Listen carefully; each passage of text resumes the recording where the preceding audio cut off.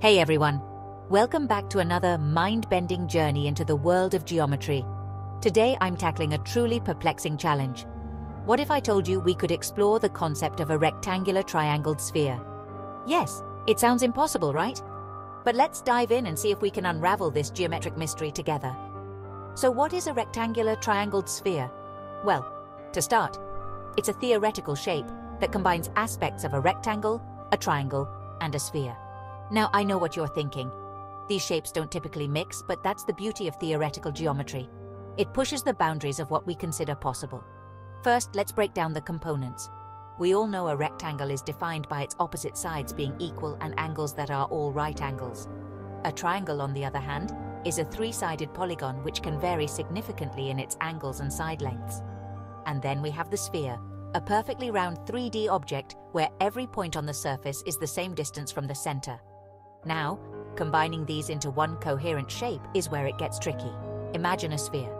Now, in your mind, try to stretch one part into a rectangle while somehow maintaining a triangular aspect.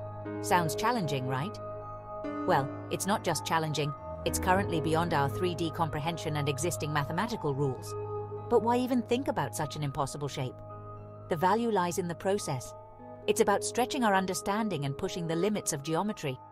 Each attempt to conceptualize a rectangular triangled sphere offers insights into the flexibility and limitations of space itself. Let's think about how such a shape could theoretically exist. One approach could be through higher dimensions.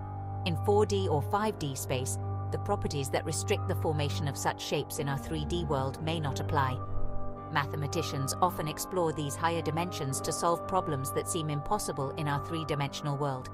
So, while we may not be able to construct a true rectangular triangled sphere, in our current understanding of physics and geometry, exploring the concept invites us to think outside the usual confines of space and shape. It challenges us to innovate and expand our mathematical horizons. I hope this exploration of the impossible has sparked your curiosity as much as it has mine. Remember, in the world of mathematics and geometry, sometimes the journey into the unknown is more rewarding than the destination. Keep questioning and keep exploring, everyone.